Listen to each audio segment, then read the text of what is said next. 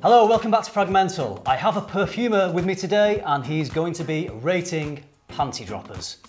Aaron, what do you think about panty droppers? I can't even believe I'm going to be in a video about panty droppers. Well, to find out what Aaron thinks about these panty droppers I've picked out for him, stay tuned.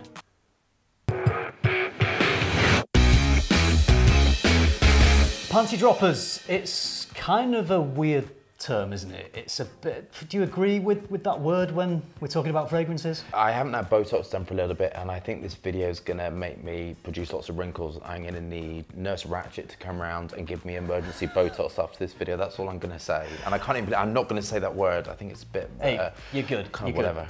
Okay. Anyway, we're not talking about Botox. We're talking about panties. Okay, fine. So okay, stop getting right. your knickers in a twist about your Botox. Okay. Panty droppers. Is it a term that we should be saying in Fragcom to describe fragrances? I think it's a very popular word, kind of whatever. I don't get offended by anything, but it kind of makes me feel a bit embarrassed, a bit, oh no.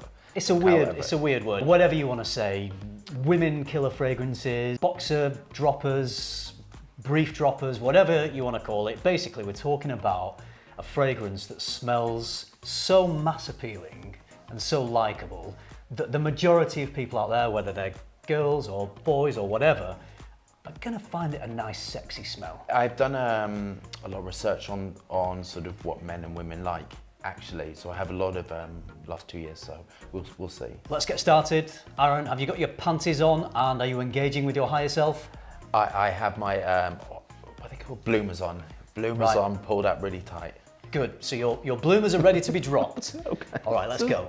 I've picked just a small selection of, of five panty dropper fragrances. Fragrances that, in my opinion, are that style, that panty dropper, very mass appealing, sexy style fragrance, and fragrances that commonly appear in panty dropper videos. Okay. But we just want to see whether these drop your panties Okay, fine, okay. or your Let's it. bloomers. okay. All right, so here is the first panty dropper Okay. fragrance. Um, we're going to get a rating on all of these as well. This is a panty dropper thing?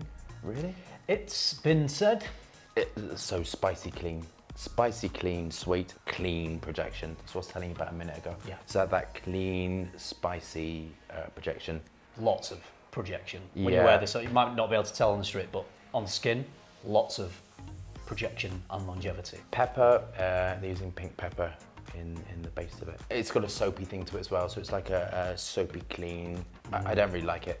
Pepper in a fragrance can give, um, it's like a spicy cleanness. It's, Yeah. a, it's quite a weird thing with, pep- with pepper, what it does. It's okay, it's, it's, I don't, not, not, not for me. Okay, all right. On to the next one. Okay. They've all got the this is sweet as well. So they're all, there's a sweetness, which is in that one, this one. I prefer this one. Okay, yeah. The Many would agree with you. Yeah, the, the pink pepper kind of threw me a little bit on that. It's kind of pink. You have to, pink pepper is a really difficult raw material to work with because it can be a little bit jarring. Mm. Too much of that note. This I prefer. Vanilla woody, sort of spicy, clean. I don't think that was a young fragrance, like a younger demographic. I think it's slight, slightly older. Yeah. It's nice that So one. you think more mature? Yeah. Oh, what we, we didn't, we need to rate that. Ooh, uh, it's a what would you hard. rate that Well, one? this is um, out of ten. As, as a, a panty dropper fragrance, what rating would you give it? definitely that mass appealing dihydromyrcenol thing in it. Mm, seven. It's, it's okay. Seven I, out of 10? I, I think it, it maybe on the skin it may wear different. On the strip it's kind of it's all right. And then this one? Better. The quality's better. The quality of raw materials is sort of slightly higher. That's what it smells like to me. I think there'd be more raw materials. I like the cedarwood in it. It's very woody, spicy, clean. Uh, an eight. I wouldn't wear it, but I think it's great. Okay, Mm-hmm. right. So we've got seven and an eight. Third one. Obviously, I like this. I like it when it's uh, sweet, woody. This has got a Parfum de Marly thing to it. Parfum de Marly always um, are amazing at putting sort of the vanillin molecules and other sort of molecules, not always, like the vanillin and coumarin and ethyl vanillin against a sort of a clean, really, really clean backbone. And this is what this is meant like, that really clean, uh, maybe slightly soapy sort of finish to it. Galaxolide is the uh, back note. It's, it's, it's that clean sort of fabric conditioner smell. And that generally is always sort of galaxolide. Maybe tetralabic glycoside. Yeah, this I is like definitely uh, the category of fragrance that you um, prefer personally Yeah, I, to so I like two. this. This Yeah. is like clean, sweet, like really, really. If you take fabric conditioner and then add it into, and then make it into a fine fragrance and add some wood raw materials, it's Mm. very nice. Yeah, you're liking that one out of 10? What would you give? Um, oh god, it's about a nine, I think. I think a nine. I think it's very Okay. nice. I kind of, um, but I think it, maybe if it had incredible longevity, if it was insane longevity, it would be like a ten. So kind of that's where the ten marks come when it's sort of, but you Yeah. don't. Really, so I, I reserve my uh, thought processes on that. But I think it's really nice. Yeah, uh, yeah. For in my experience, I, I get pretty decent performance, uh, projection, longevity off that. So high It doesn't smell Uh, cheap. No, it- no, No. So we're going with a nine. Yeah. Right. Great. All right. Next one. This is nice too. See, this has got the spiciness in it of the first. It's kind of spice, like um, spicy note to it. This smells like amouage. So amouage have that. Uh, I was saying you earlier, amouage have that thing, and it's uh, or it's the frankincense. I think it's the frankincense mixed with the sort of the smooth wood notes, and kind of you can always tell amouage straight off. I think they, they won an award for sustainability for frankincense. Yeah, I think right. Did. I love Yeah. that. So It's I, good, isn't it? I, Yeah. I, love that. I think it's um, we need to look after the planet with these raw materials. For sure. For sure. Yeah. This is uh, this is absolutely amouage. It's got that clean. They have an undoubtedly smoothness to it that I've not smelt in any other range. So amouage have a distinctive thing with it. Is this this I like? It's um it's clean. Again, it's that cleanness, isn't it? It's like Does have a cleanness, yeah. Very nice. I like this one. It, it's the it's, so I tell you what I, I tell you why I like this. It's the coumarin mixed with the clean, the clean backbone, Mm. and then the amount of naturals in it. You can just smell. And this Amouage always smell, even if you don't like them, you know the quality of raw materials that they use. You can just tell it like a mile of the difference. And I'm not, I'm not being a bitch, really. Well, I kind of am. The, the difference between the first one Yeah. and this one are completely Night and day. night and day. Yeah. And I think that's why I don't really like the first one. It just smells sort of mass produced and kind of, you know, being cost effective and that you have to cut, you'd have to cut costs somewhere. And Yeah. with this, you can tell the, they're not cutting costs and you can tell the difference in, for me, Yeah. No it just smells, no, Yeah. that's exactly what it smells like. It smells mm-hmm. strong, robust, wall, smooth. I really like this. Great. Out of 10, what would you give it? Well, I'm gonna give this a 10 because I kind of think Oh. it's um, it's a modern interpretation of a, a Middle Eastern fragrance, and I think that's really smart. With this sort of fragrance, I think it's Western brains could could sort of okay, this is easy to understand. First Absolutely. That's why I Yeah, like this one I really so like much. Um, this, I'll reveal what it is. I think you know, I think you've sort of nailed everything you've said there about it, but this is a fragrance that I've had an insane amount Okay. of compliments on. People really love it Okay. when I wear this fragrance. I've been told multiple times. Two more to go. This is the fifth one.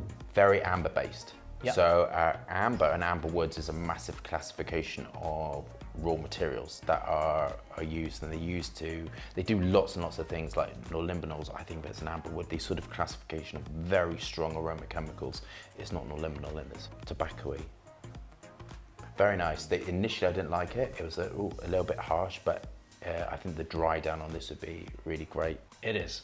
smooth again it's smooth and clean Mm. smooth clean sweet ambery Yeah. Niche or designer, do you think? what do you classify as niche and what do you classify as designer that maybe Perhaps something like you mentioned, comparing two of these fragrances, that the quality, one Got seems ya. no expense spared. So sort of the quality, the creativity. So I'm going to answer it like this. I'm not going to. I'm going to give a politician's answer, which is kind of not direct. I think if this is designer, they're trying to make it smell niche quality, but it could be niche quality trying to smell That's commercial. appealing. Okay. So it's that sort of like yeah. um, thing where it's kind of at that intersection. I can't sort of say straight off. So if it's designer, they're doing a good job. Yeah, but I like the amber. That's I kind of love this. There's a raw material in this that I am. That's an amber raw material. I really really love using. Very woody, clean. So the same sort of stuff. One like of the favourites of friend of the channel, Michelle from Curly Fragrance. Oh, okay. She So talks it's about this in all her Oh, okay. women killer panty dropper Okay. videos. Yeah, nice. Yeah. Um, so out of ten, what would you give that one?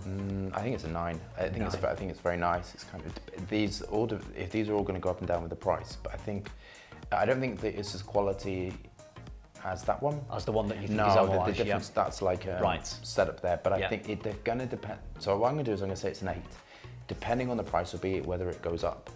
Does that make sense to you? Yeah, okay. Okay, so I think Yeah. that's like fair. All right, fine. And uh, last one. Oh, so I like Tom Ford. No No, you can, tell, hesitation. you can tell it. You know. Yeah, I, I, and again, it's clean, sweet. I love this period of Tom Ford. I thought was amazing and very inspiring. They produced Mm. some amazing stuff.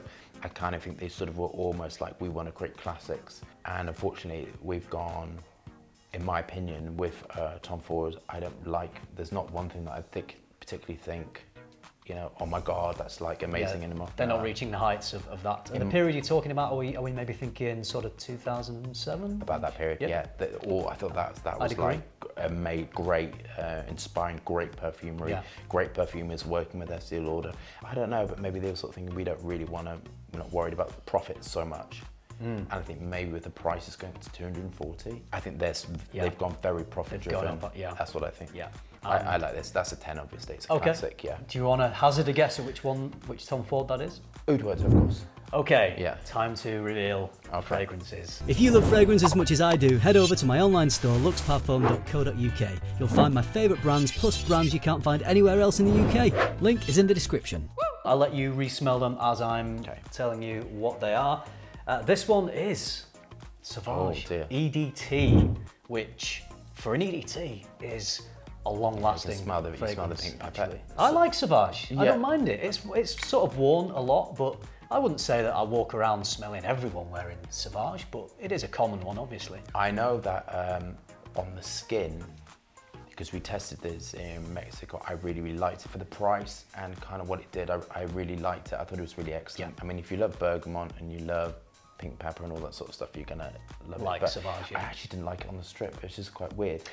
Does smell different on the strip. I know I, we can only do strips in these videos. We don't have room for, for skin for everything, uh, so I know it's not ideal. It does not smell quite the same when it's warmed up on the skin. That sort of savaginess of it isn't fully blue. No. I don't think. The second fragrance. You said this leans a little older, and I'd agree. This is the uh, original Terre de Hermes. Okay. Woody, you said. Woody fragrance, clean and fresh. Yeah, I like that. And I think you gave that one an eight. Not for me, but I, I, you, Hmm. I think it's a, a great fragrance, but not for me. An easy one to wear if you want to smell attractive, I'd say. Do you know what I'm surprised about with that? The way it's constructed, uh, for the radiance you get off it, I think, uh, I think it's very clever. So I think it's a very, very clever perfume, kind of, um, just how it's constructed is kind of in the radiance you get and the clean radiance you get. Yeah, it's a modern Yeah. masterpiece, Yeah, yeah, I isn't think it, so. Terre? So that was an eight for that one. We have uh, Jean-Paul Gaultier are going to be very pleased with you because you were like you were that. saying niche quality, performance, longevity, Yeah, I think decent on this, definitely above average. Yeah, I think I think it's nice. I think they know what they're doing. They they know Oh, what they're doing. I don't think they ever pull out. I don't know. Did they ever pull out something that's awful? There's been a couple of flankers to Le Male uh, on board Aviator, Nice. which were just a bit sort of. They weren't bad, but they were just a bit weak and nondescript Okay, for me don't want personally. Uh, whereas this one definitely has a more distinctive, Yeah. bolder character to it. It's a bit, it's a bit of a, of a braver release. I think what I said was it has the it could be a Parfum de Marly. Yeah. Because of the construction of the sweetness against the cleanness. Yeah, they balance it really well because they've, they've got the a bit of sort of that thickness from thick Yeah. fluffiness from vanilla, but there's uh, a little bit of iris Yeah. in there, and you've got a little bit of the original Le Male DNA, so that clean, fresh mint. So it's that mint giving it a bit of cleanness, and then the fluffy, sweet vanilla. Really nicely balanced fragrance. I can see why a lot of people would think this is a panty dropper. It drops his panties. Absolutely, every time. this one. Yeah. Not as much as this one though. This is the one that you said was an amouage. Let's see if you were correct. And Yeah. I'm sorry to. S- no, I'm not going to lie. You were right. Okay. It is an amouage. It is. Yeah, nice. 45. I mean, I, I think Amouage is great. You recently reviewed this on your channel. I watched it. I was very interested. Uh, I was hoping that you uh, you wouldn't diss it on your channel, and you didn't. You you gave it a very high score. For you, the quality of this seems to stand above all the others in in this video. One seems- one hundred percent is the it, the raw materials that they're using are very high quality.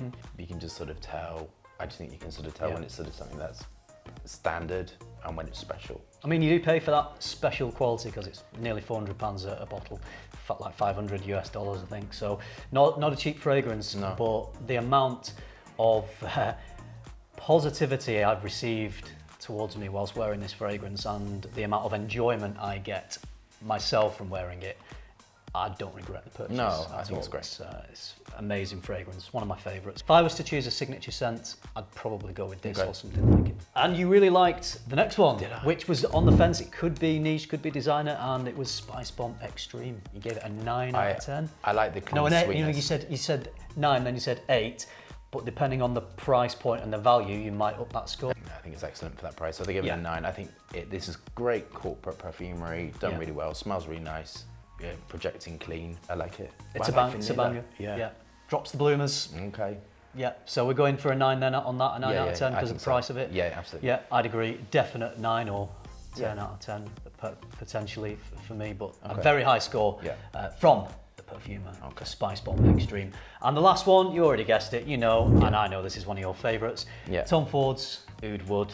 Another modern masterpiece, again released, I think 2007, in, in the, the heyday of those uh, Tom Ford releases. And I've heard a lot of, in my experience, a lot of women say they love this on Okay. man. They think it smells incredibly attractive. So I'm taking that as a panty dropper. Your- I agree. Yours I, are I all yeah, the way down Absolutely, 100%. with uh, Oud Wood. Yes. The fresher ones, the Terre de Hermes and uh, Sauvage, you sort of liked, but they weren't your thing. But these four, Yeah. you really agree that, that they're panty droppers. They should be in these lists of fragrances that smell sexy and, Yeah. and very likable. They get perfumer's panty dropper approval. 100%.